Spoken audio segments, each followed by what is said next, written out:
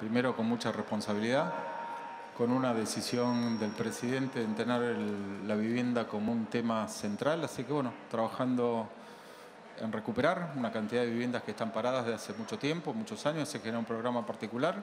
Y después, bueno, tener una política universal que tiene que ver con lo federal y que tiene que ver con resolver cuestiones estructurales en el tema de vivienda de la Argentina. Así que, bueno, trabajar coordinado con otros ministerios, porque también otros ministerios aportan cuestiones al hábitat. Así que, bueno, con mucha expectativa de poder trabajar en este tema.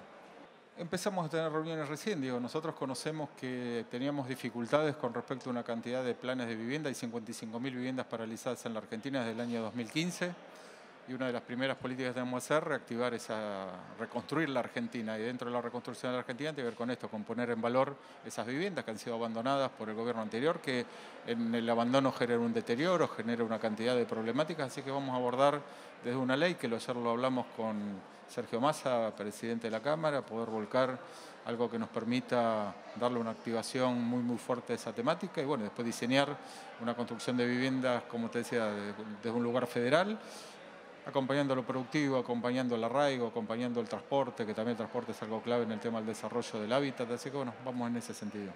Hay cosas que están avanzadas con convenios con los municipios, así que vamos a activarlos esta semana próxima, digo, una cantidad de obras que tiene que ver con, con núcleos húmedos, que tiene que ver con recuperación de infraestructura, que tiene que ver con viviendas nuevas en firmar convenios, así que bueno, ya en esta semana vamos a empezar a ponerlos en valor, a ponerlos en práctica y diseñar lo que significará un plan bianual entre el año 21 y 22 para ya generar en los dos años cerca de 110.000 viviendas. Ese es el plan que tenemos. Tenemos para entregar más de 7.000 viviendas todavía del plan anterior. Estamos lanzando licitaciones en estos días para construir 1.200 viviendas más. Realmente los intendentes saben dónde tenemos que hacer viviendas. Articular con el resto de los, de los ministerios que tienen terrenos vacantes y ponerlo al servicio de un programa integral que se construya en el tiempo, que sea sólido para que la gente empiece a tener esto como una cuestión de derecho y ese derecho lo podamos ordenar en función de una demanda clave. Gracias.